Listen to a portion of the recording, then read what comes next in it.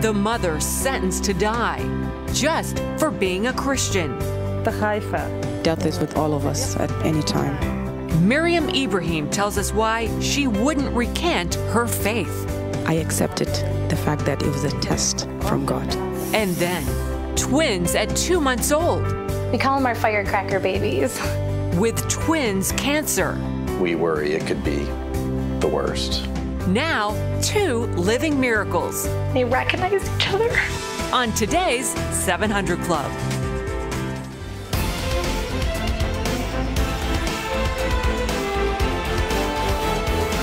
Welcome to the 700 Club. There was a war a little while ago in Gaza. People in Gaza were sending rockets, thousands of rockets, into southern Israel against civilians. Finally, Israel decided to return the fire. And in the process, Hamas decided that they would hide civilians among the launching pads of those rockets. So, collateral damage resulted. Now the United Nations is saying Israel is guilty of war crimes. It's nonsense. Well, the United Nations report on last summer's Gaza war implies that Israel deliberately killed civilians. As Chris Mitchell reports, Israel is rejecting those accusations. Israel says the 200 page report was politically motivated and morally flawed from the outset. Israeli Prime Minister Benjamin Netanyahu blasted the council. The United Nations Human Rights Council has a singular obsession with Israel. It has passed more resolutions against Israel than against Syria, North Korea, and Iran combined. In fact, it's passed more resolutions against Israel than against all the countries of the world combined. Last week, senior generals from the U.S. and other NATO countries released their own independent report.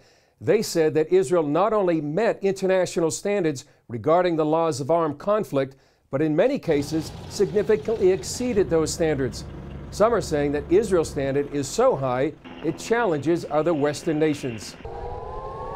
During the 50 day conflict, the UN Commission said 1,462 Palestinian civilians were killed, a third of them children. It criticized Israel for disproportionate force and failing to change its tactics during the war when civilians were killed, even though Israel warned civilians in several ways. But it's hard for me to see how Israel could have done better. In other words, what could it have done more than warn the people the way they did? What could have done more than make phone calls to individuals inside buildings about to be attacked? Reserve Lieutenant Colonel Advocate David Benjamin is the former IDF chief legal advisor for the Gaza Strip. While the report says Hamas launched more than 4,800 rockets and 1,700 mortars at Israel, it stops short of blaming Hamas for starting the war. It kind of puts the blockade against Gaza as being maybe the root cause. Doesn't suggest that actually the blockade is there because of Hamas terrorism. Ironically, Hamas also rejected the findings of the report because of its comparison between Israel and Hamas. I think that the fatal mistake uh, and big problem in this report that all the time they try to make kind of uh, comparison. Mary McGowan Davis, chair of the commission, said they don't have the evidence to prove war crimes were committed. It's a great source of regret that on this occasion we could not travel to Israel and the occupied territory to meet them face to face. Well, there's a built in problem is that most of the decisions to attack certain buildings or targets are based on, based on secret intelligence. And that secret intelligence you can't have the enemy knowing about.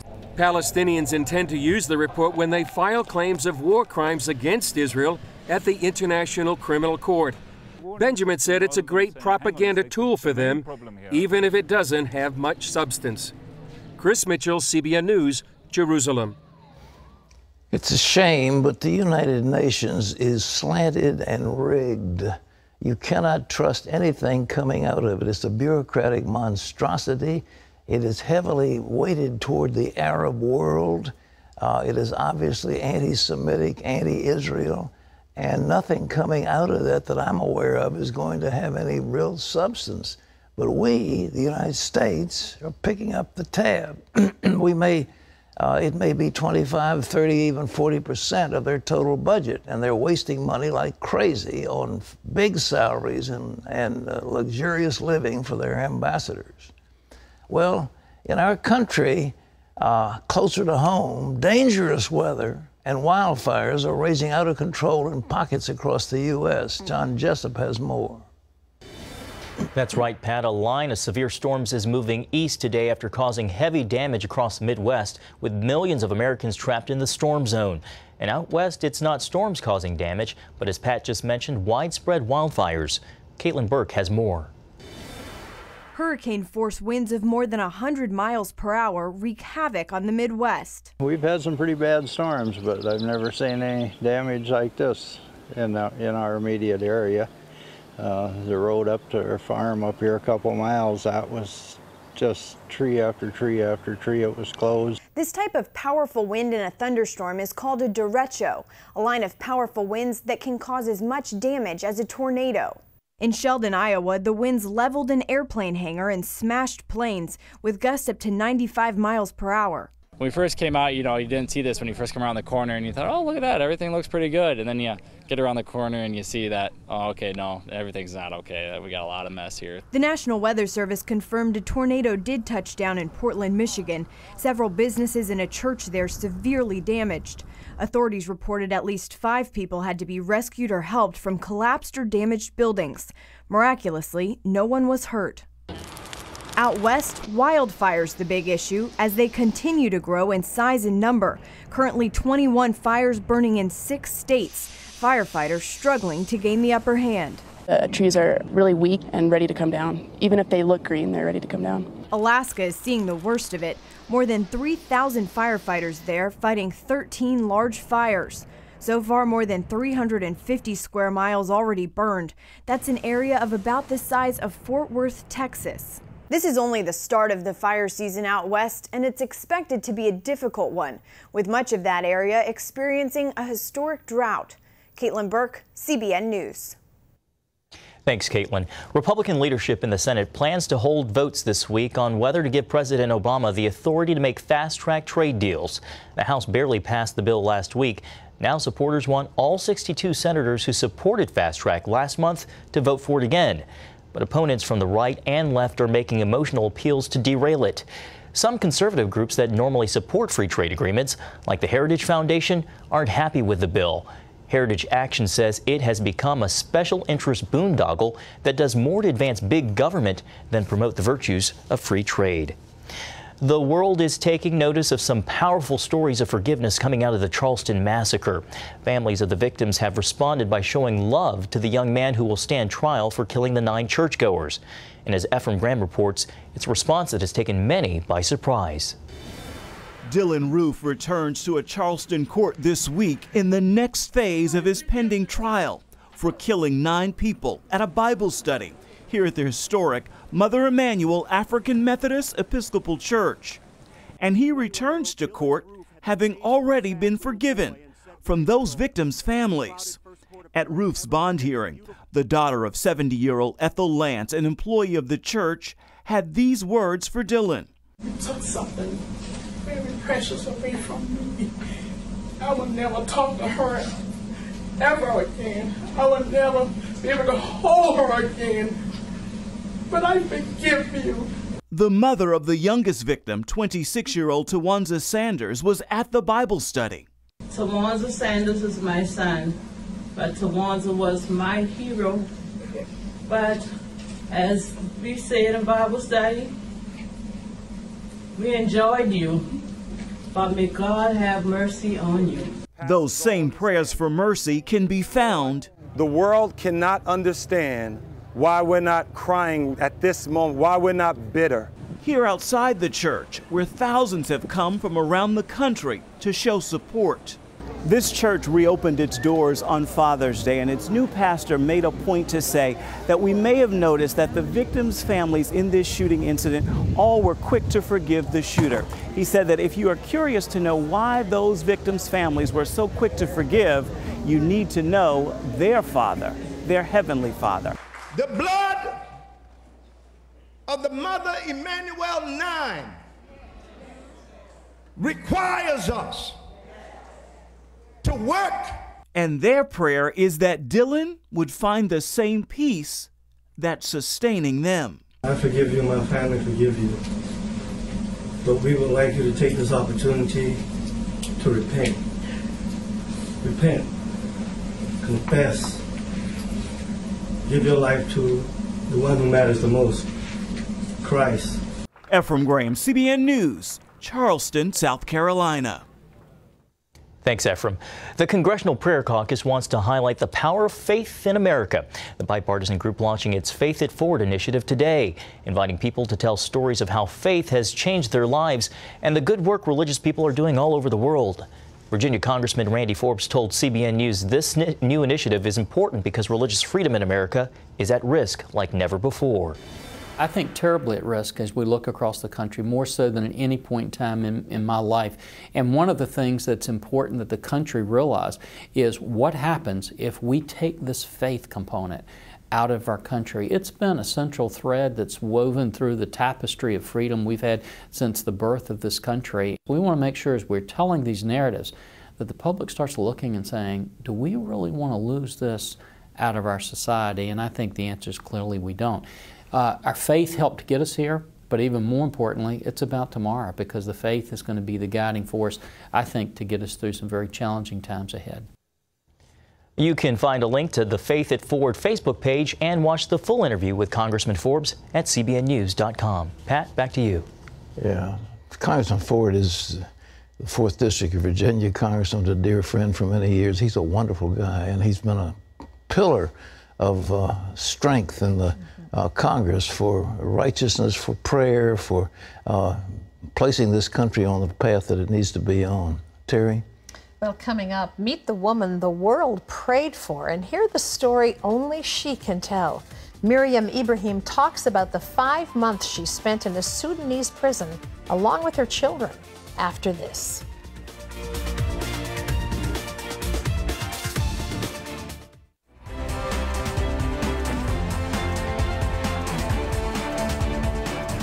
Sudan, the former head of Sudan, uh, was being tried or should have been tried. He escaped custody and left uh, an area that he should have been put in prison, but nevertheless, that's not what this story is about. There was a Sudanese woman a year ago whose name was Miriam Ibrahim. Uh, she was in prison facing a death sentence. Her one year old child was by her side and she gave birth to her second child inside a jail cell. Ephraim Graham brings us her remarkable story on the one year anniversary of her miraculous release from the Sudanese prison. Miriam Ibrahim stands center stage to thank American audiences for prayers and for protest for her freedom just a year ago, in Muslim dominated Sudan, Miriam was in prison, facing death. A court sentenced her to be flogged, then hanged for being a Christian and also marrying one. Were you worried that you were going to die in prison? I was not afraid. Death is with all of us at any time.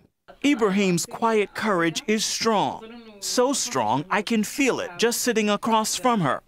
She spent five months in prison with her one year old at her side and gave birth to a second child inside the jail cell. How are the children? My children are doing okay. Their health status are okay, except for Maya. I'm a bit worried about her health in the future due to her being born in prison. Do you still think about the time in prison in Sudan? What I saw in prison, nothing is fair. Even if you have a small crime, they will give you big sentences for it, which is not worth it. I feel like it's not fair at all, especially women. There's a lot of Christian women who are in prison there, so they get sentences as they were Muslims, and that's not fair. So, I mean, they could die. It happened. It's a lot. Especially the children who are there with their mothers. They kill the children too. They're not intentionally killing them, but the situation and the difficulties in prison are killing them. Miriam and her baby survived the harsh conditions and reunited with her husband Daniel for the journey to his home in New Hampshire. The trip included a stop in Italy for an audience with the Pope. Many in the world followed your story and were praying for you, and we're happy to see you make it to the U.S. Is there anything about your story that we don't know that you want us to know? My story is very long.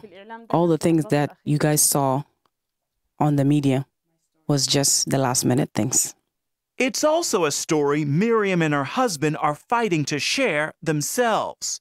Producers stopped plans for a movie after the couple spoke out against it. And an Italian journalist has written a book. But Miriam is at work, writing the story only she can tell. Did you ever sit and ask God, why me? Why me? No. I never asked God why me, but I accepted the fact that it was a test from God. What did that experience in prison do to your Christian faith? Being in prison strengthened my faith even more and more. And I'm sure deep inside that the other side of the Islamic are not happy with what I did. Miriam's brave stand is bringing her honor in America. Like receiving the President's Award from the National Religious Broadcasters Association. What does your family and you need most right now? The most thing that my family needs is for my husband to get employed and for myself to get my paperwork done and able for me to help everyone dream to live happy, to live in peace and in good health. That's all I asked for. And that's what I want for my family. Would you go back to Sudan? I hope that. I will hope to do that one day. And what do you want to do there? I will do God will if He has a job for me there. I always dreamed of helping others in Sudan, and I will hope for God to bring that to pass. All I can do is help others just like I was helped. Her heart to help begins at home in Sudan, but Miriam hopes to someday serve persecuted Christians around the world. Ephraim Graham, CBN News, Nashville, Tennessee. Thanks, Ephraim. I was in Sudan when General Numeri was president. It was a relatively free country, and uh, uh, we had access to whatever we wanted access to, and they entertained the delegation. I was with the then Vice President George Bush. Uh, the Muslim takeover happened after that time, and it was has plunged that country into a real dictatorship. Imagine somebody who's going to be lashed with a whip, a woman beaten because she married a Christian, but she was a Christian.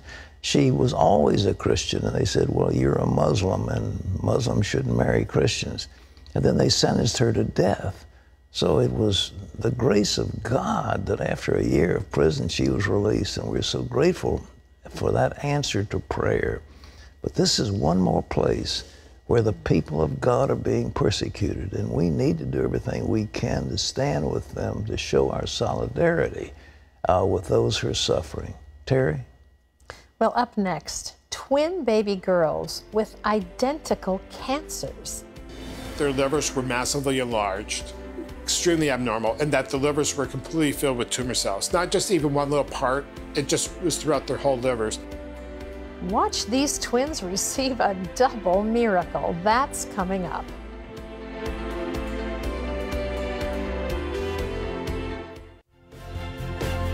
To see this week's most viewed stories, go to CBN.com.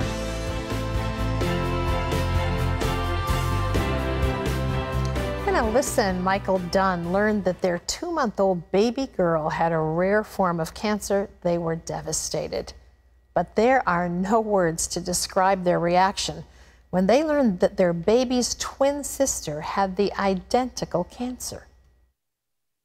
On July 4th, 2007, at 4 a.m., Alyssa and Michael Dunn welcomed twin girls, Madeline and Isabella, into their family. They were five pounds, 12 ounces, and five pounds, eight ounces, so they were perfect sized little girls. And they surprised us and came on the 4th of July, so we call them our firecracker babies. During a routine checkup the following September, their pediatrician noticed Madeline's stomach was swollen. You could sense a tone change after he really started to physically examine her, and you could see his face change. And I think we both knew that this wasn't going to be a normal checkup. An ultrasound gave him reason to suspect she had cancer. He sent them to a local hospital for further testing. On the drive to the hospital, we feared the worst, but you know, we hoped and we prayed for the best. We, we hoped that it would be routine, but deep down inside you worry. We worry it could be the worst. They said um, when we first got there, there was no way that it was cancer because she was too young. But the doctor came in shaking, said it is. Madeline had stage 4S neuroblastoma, a rare form of malignant cancer found in infants and young children. A softball sized tumor was growing on her abdomen. Alyssa and Michael took her to the Children's Hospital of Michigan Detroit Medical Center, where they met Dr. Jeffrey Taub. As he ran tests on Madeline, her twin Isabella caught his attention. My colleague and I had a bad feeling that something was not right.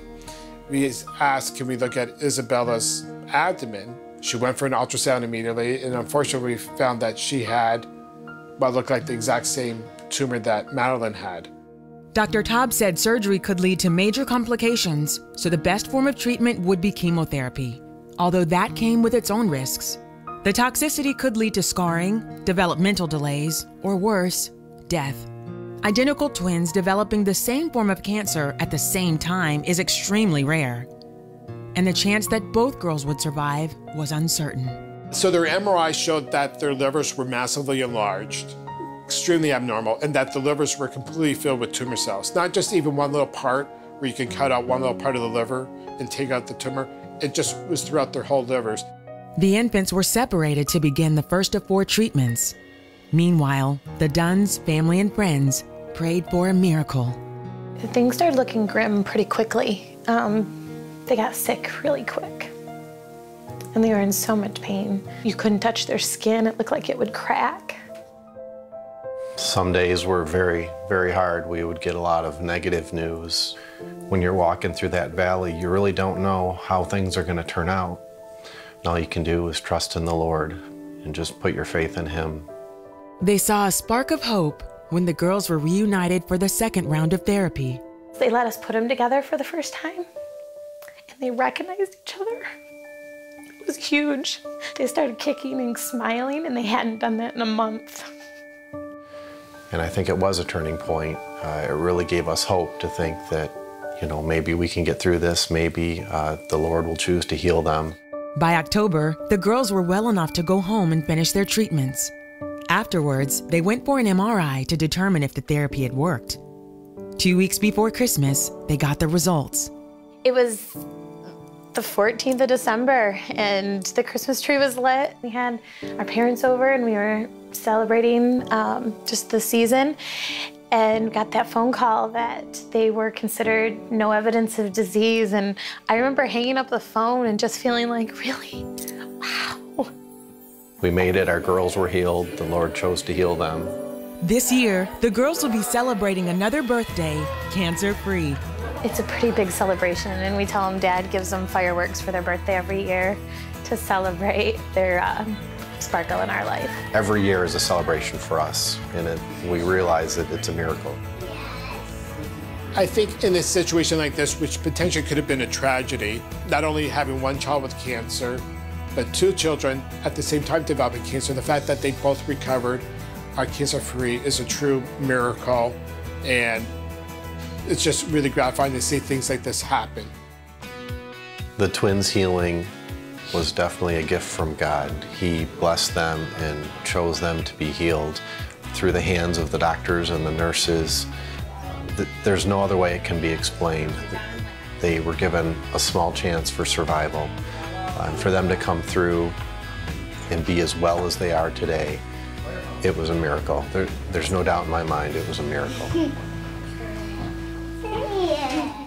Wow, God is so good and so amazing. You just want to rejoice with that Hmm. Aren't they family. beautiful girls? They're so sweet. But what a what a Yeah. Oh, difficult path to walk yeah, down. I mean, I, I, there are many of you I know who are struggling with needs in your own lives, and so today we want to just take a moment to encourage you with the story of Isabella and Madeline, and then with some prayer reports as well. Pat, this is Angela from Elizabeth City, North Carolina. Suffered with a knee injury for over 30 years, but couldn't afford surgery to correct it. For the past year, she had to wear a knee brace.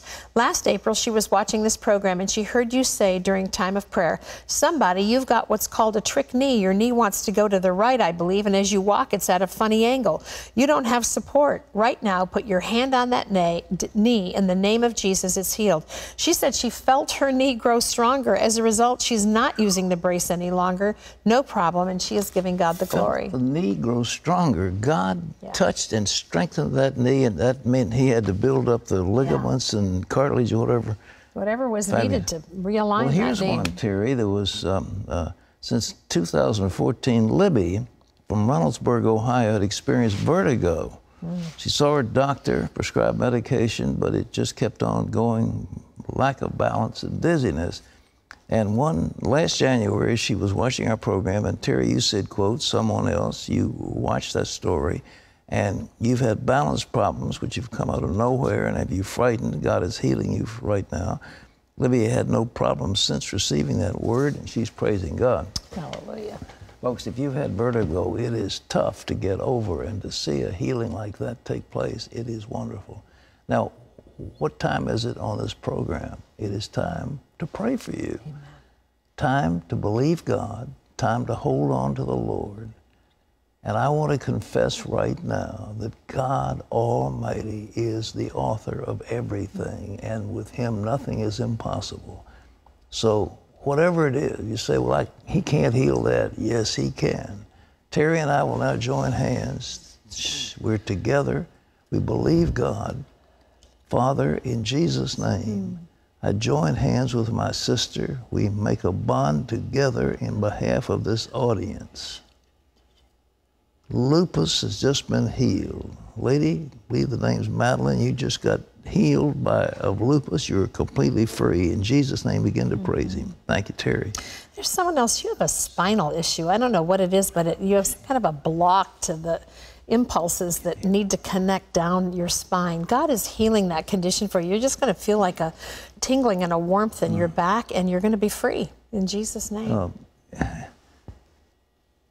I believe it's a man. You've got a problem with your carotid arteries. Uh, they're all full up with plaque and what have you, and uh, it's it's causing a shortage of blood to your brain. Right now, put your hand on your throat in the name of Jesus. Yeah. And someone else with a throat issue, you uh, uh, you have a, like it's like your voice has become you, very Jesus. raspy, and you can't you, ever get it clear. God's clearing that up for you right now. You're going to go back to be able to speak clearly as you did before. Somebody's uh, healed of dizziness right now. You've been having dizziness. It's, it's not exactly the vertigo thing, but it's like vertigo.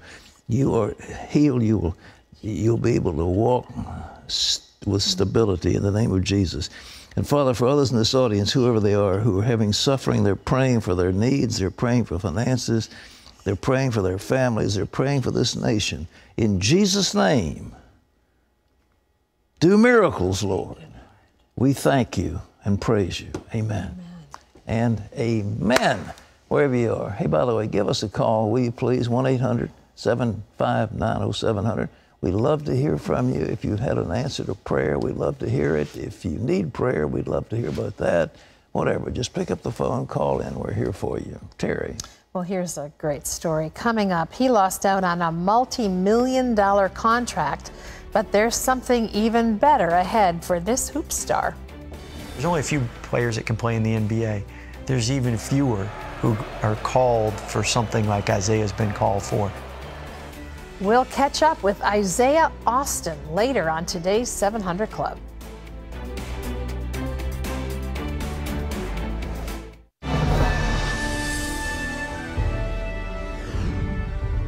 Welcome back to Washington for this CBN News break. From Senate Majority Leader Mitch McConnell to Republican White House hopefuls, a growing chorus is joining South Carolina's governor's call for the Confederate flag to come down for the grounds of the state capitol. This after the accused killer of nine people at a historic black church last week was seen in pictures posing with the flag. We are not going to allow this symbol to divide us any longer. The fact that people are choosing to use it as a sign of hate is something that we cannot stand. Governor Haley called on lawmakers to vote on the issue by the end of the summer, and if they don't, she said she'll call a special session. A North Carolina teen has been charged with planning to kill a large number of U.S. citizens for ISIS. Authorities say 19 year old Justin Sullivan was turned in by his own father. After the tip, an undercover FBI agent contacted Sullivan, who told the agent he had converted to Islam and was an Islamic holy warrior. Sullivan reportedly was planning to buy an AR 15 rifle to gun down people at a bar or concert. Authorities say he also planned to use a biological weapon or bomb to kill 1,000 people. Sullivan is believed to have been radicalized after watching ISIS propaganda on social media. Well, you can always get the latest from CBN News by going to our website at cbnnews.com. Pat and Terry will be back with more of the 700 Club right after this.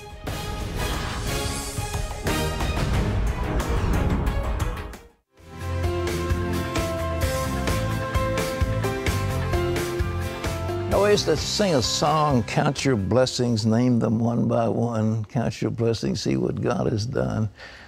But one of the blessings that we have here in this nation is uh, clean drinking water.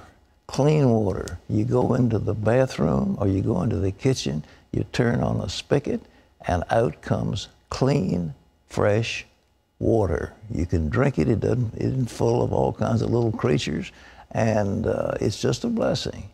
Well, this is only one of the few parts of the world where we have that. But in parts of South Africa, uh, any kind of clean drinking water is hard to come by. In one village, in fact, an elderly woman had to risk her life just to get some water. Fina lives alone in the remote grasslands of KwaZulu Natal, South Africa. One of the biggest challenges she faces is getting water. Water is life. If you don't have water, you struggle a lot. Her children and grandchildren have all moved away, so she has no one to help her. I always felt sad because my life was so difficult. Every day I carried my bucket a long distance to the river. Having to go that far wasn't the only problem. I was scared to go to the river because it was full of hippos. They are dangerous if you startle them. Sometimes I would see them sleeping on the riverbank and walk back home with an empty bucket. On those days, Fina dug a hole in the ground and waited for water to seep into it. She waited hours for just a little bit of dirty water. I'm old, and that made me so tired. Digging a hole every time I needed water put a strain on my body. When someone from CBN heard about the long walks, the hippos, and the hard work that went into getting water, we dug a well for Fina. Now I have water right in my own yard. I don't have to risk my life going to the river anymore. That makes me very happy. If it wasn't for CBN, I'd be hurt or maybe even dead. Thank you, CBN, for changing my life. Isn't that amazing?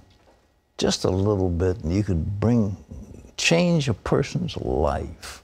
Well, I invite you to join our 700 Club. It's 65 cents a day. That's all it is. You can join. And uh, we've got something for you. Oh, we've got a whole bunch of stuff, and I'll talk about this. It's called the Transforming Word. Uh, they're the miracle scriptures, and um, it was there with teaching on, on healing. I think you'll enjoy it. Other things, if you join Pledge Express, so you can tell your financial institution or your bank or whatever to just uh, send $20 a month automatically, and it'll be automatically sent in, and it'll save a lot of money for all of us. And so we can send you that nice uh, present uh, to give you something to enjoy. Terry. Well, still ahead, Pat returns to the hot seat for Bring It On. Samuel says, I discovered three weeks ago that I am HIV positive. I have also given my life to Jesus. Can he still heal me? And can I work for him with this disease? Stay tuned for Pat's answer after this. I want to make a quick pitch for Regent University. It's really a tremendous school, record enrollment this uh, summer, by the way. And uh, big things are happening in the fall. Now, listen to this special academic programs where you can get degrees for cybersecurity. That is really hot. Healthcare management, big field. We'll be training people in healthcare management. Political communication, no time. All right. And paralegal studies, among others. We have right now about 84 different programs that you can be involved in, and it's set up online where it'll be convenient for you. And um, they're uh, 12 week uh, course uh, program, excuse me, eight week, eight week uh, course uh, enrollment, and then another time, another time, another time. So uh, the big thing is this fall coming up, and you can enroll master's degrees, doctoral degrees, bachelor's degrees, an outstanding university. And now's the time to sign up. So there's the number on your screen. Uh, it's uh, Regent University, 1 866 910 7618. Or you can log on to www.regent.edu and say you're interested in whatever you're interested in, or let us see the program and what we've got for you. So it's all available. Uh, so call quickly and let's move because I tell you, this, this fall is filling up, and we're just thrilled to see all the people enrolling. It's time. Had the biggest uh, graduation uh, um, uh, is a what is it, 1,500 people. Wow. Graduation wow. just in May. It was terrific. Okay. You're well, next. This Thursday night right. is the 2015 NBA draft. Last year, all the buzz was about Baylor University's Isaiah Austin. But shortly before that fateful draft, Isaiah was diagnosed with Marfan syndrome, and his promising career ended before it began. So, what is Isaiah doing now? Well, Tom Beering brings us his inspiring story. Inside Baylor University's arena are basketball dreams as players take their hopes for a spin, getting a shot to earn an NBA career. Few come close, even fewer get there. But none can match the journey of 7 foot 1 center Isaiah Austin. I was the kid that wanted to stay in the gym five, six, seven hours longer than other kids would. The love for the game just flowing through your body, and uh, I just always felt it. I just always wanted to have a basketball in my hand. Isaiah's family moved to Texas. When he arrived in the eighth grade, he was hard to miss. Everybody was hearing that a new 6'8 kid uh, who was scrawny moved to town, and everybody wanted them on their team, and people were coming to watch me. Through high school, crowds grew. Isaiah became a top five recruit nationally. Baylor made the best impression, enabling Isaiah to stay in state and close to home on the court at 7-1, not many people can handle the ball and shoot it like he can. He had a knack for making big shots. Very good shot blocker. He's, he's a great teammate, uh, humble guy, servant guy. He had a determination about him. I'm locked in on, on one goal, and that's to win and to do whatever I can with, with my teammates and for my teammates. Isaiah declared for the NBA draft after his freshman season, but changed his mind because of a shoulder injury. As a sophomore, he led the Bears to a midseason seventh ranking and a Sweet 16 appearance. His visibility grew. Isaiah chose to enter the 2014 draft and intensified his training. Really wasn't listening to all the outside chirps and things like that. Every day I came into the gym, my trainer, he would just tell me every day that I'm becoming a lot better than I was. And that would just fuel me to keep going hard. Isaiah was among the pre draft buzz, holding court about his basketball future, until an unpredictable bounce suddenly shut it down. Doctors told Isaiah they found symptoms for Marfan syndrome, a disorder that makes the heart susceptible to rupture. Just five days before the draft, the diagnosis was confirmed. Isaiah would no longer play competitively. Friends and family broke the news to him. Everybody was there, my coaching staff, my mom, my little brother and sister, girlfriend, pastors. And uh, I just remember seeing one face, and that was my mom's. Face red, eyes swollen, and just tears running down her cheek. And that's when it hit me, and I just asked my mom, I said, is, is it what I think it is? And as soon as we made eye contact, I just, I broke down. You know, I started crying, and it was the toughest moment I've ever had to hear in my life. When you could feel God's presence all night long and prayers and songs that uh, kept the night and moving in a, in a manner and a direction that I think was pleasing to God. His condition became headlines. Isaiah's Twitter response went viral. He was invited to the June draft as NBA Commissioner Adam Silver announced a ceremonial pick honoring Isaiah and fulfilling his childhood dream. That with the next pick in the 2014 NBA draft, the NBA selects Isaiah Austin from Baylor University. God will never bring you to anything he can't bring you through. Tough times in my life, but at the same time, he's brought me through. Finding out about Marfan's, not only did it save my life, but you know, it changed my life for the better. Uh, he's given me a chance to spread his word and spread his gospel, and he's given me a, a way to, you know, touch people around the world with my story and let them know that they're going to fight through adversity in their life, but they have to just keep faith in God and, and, and trust in Him.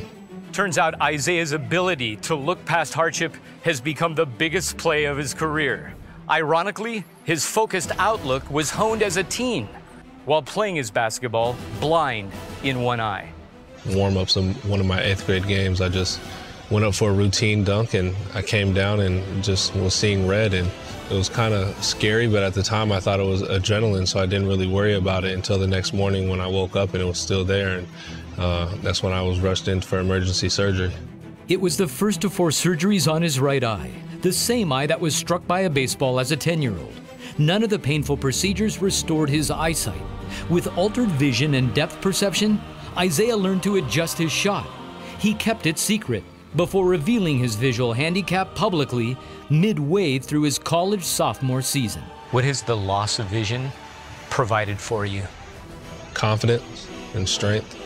Uh, I feel like I wasn't really a confident person. Losing my vision in my eye just made me have to develop a, a confidence. God putting me through those four surgeries just made me a stronger, mentally tougher person, mature enough to handle the news that I, I received. He, he was leading me up to this, gain the things that I needed to go through this and to push through this to show people that, you know, if you trust in him and believe in him, then everything will be all right.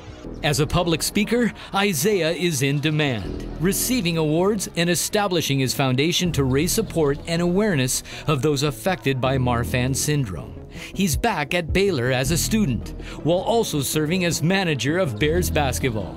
Isaiah is working toward his degree with a job offer from the NBA waiting.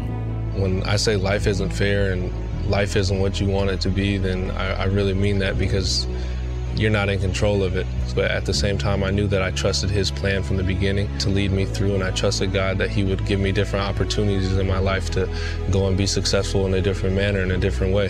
There's only a few players that can play in the NBA. There's even fewer who are called for something like Isaiah's been called for.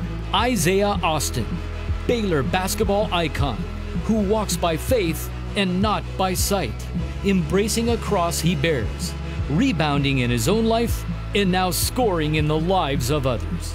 God is the one for my life. He's done something for me that I don't think basketball ever would have done for me. Um, it wouldn't have changed my heart. I just couldn't be more thankful for the position that I'm in because him putting me through this fire has, has brought me to the light, you know, and I, I know that he's my salvation. I know that at the end of the day, you know, I, I'm being the servant that he wants me to be. What an inspiring, quality young guy. And you know, they say adversity makes you better or it makes you bitter. He's taken the ball and run with it, so to speak, and making a difference. Today, Isaiah continues to inspire audiences everywhere as he speaks. He's also the author of a new book. It's about his personal story. It's called Dream Again. It's a story of faith, courage, and the tenacity to overcome. It's available nationwide, a wonderful gift and wonderful inspiration for all of us. So, Isaiah, kudos to you. Okay, we're going to answer Ready some for some questions. Bring It On? Yes, All right. ma'am. Let's do This is from Samuel. Pat, he says, in the past, I lived a deep life involved in homosexuality and also encountered messengers of God telling me of God's call upon my life. I was scared because I never knew the area this said call was pointing to. I tried to ask, but the answers I received were not straightforward.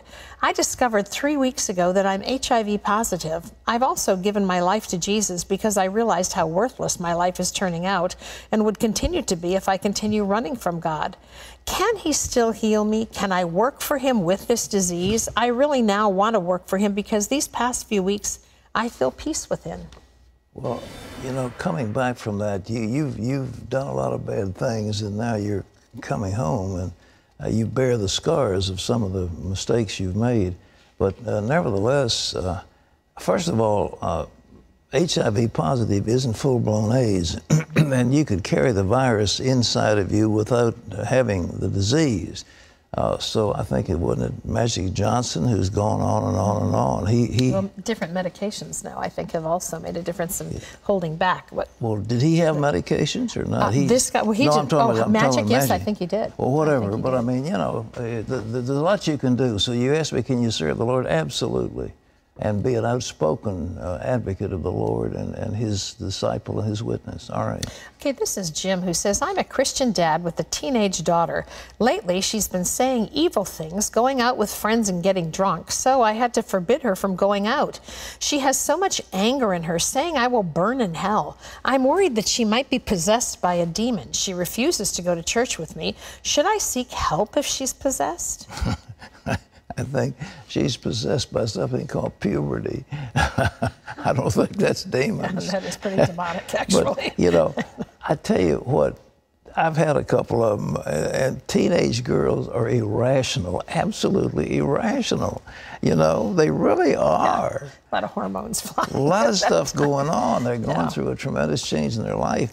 You need to give a stable foundation, lots of love, but don't loosen up on your standards. That girl is going to wind up in prison if you don't uh, hold her back. And see if you can't get her with a crowd of people that. Uh, that love the Lord. I mean, the, you know, there are all kinds of summer camps, you know, Young Life and people like that, that have tremendous things for youngsters. And I think if she gets with some people who love the Lord, uh, they'll re- she'll realize that going out drinking, partying, sex, and all the rest of it that goes on with these kids and drugs, that, that there's another way that's just equally a lot more fun. All right. Okay, this is Cassandra Pat who says, I'm considering dating a guy who is Protestant and I'm apostolic. Is it okay to date him?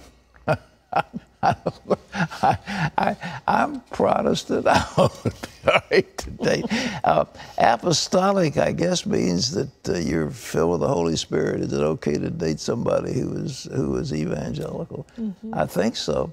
But let me tell you, you know, how can two walk together except they be agreed? If somebody thinks, for example, the baptism of the Holy Spirit is demonic or feels that, uh, you know, he's going to try to convert you to do something else, I mean, he, run away. I don't care whether he's Protestant, Catholic, or any, uh, you know, whatever. Uh, I, I- I think the question is, does he agree? Are the two of you in harmony? That's what you want. All right. This is Kim who says, Do I need to be baptized to get into heaven? Not according to the Bible. What's next? Carol says, My pastor for the past 40 years has said that the Antichrist would come from Greece. What are your thoughts? I think your pastor doesn't know anything about the Bible. I don't know where does he get Greece. I, I don't. Um, they, we had a guest on the other day who really feels that uh, the Muslim world is the Antichrist, and I, I tend to agree with him. I think this radical Islam is a representative because they deny Christ, they deny the, the blood of Christ. Uh, but uh, that's Middle Eastern. And the idea that the Antichrist will come from Europe, uh, Greece is, you know, I don't know. They're, they, they, they're, you know, Alexander the Great influenced tremendous, uh, uh, I mean, had a tremendous influence on the world in his day. And he changed the whole culture of, of the world. And so you'll find Greece being pointed to in Daniel and so forth. But I don't see anything about the Antichrist coming from Greece. Well, we leave you with today's Power Minute from Psalm 91. If you say the Lord is my refuge and you make the Most High your dwelling, no harm will overtake you. No disaster will come near your tent. Thank you so much for being with us. And we have Terry and all of us, this is Pat Robertson, and we'll see you tomorrow. Bye bye.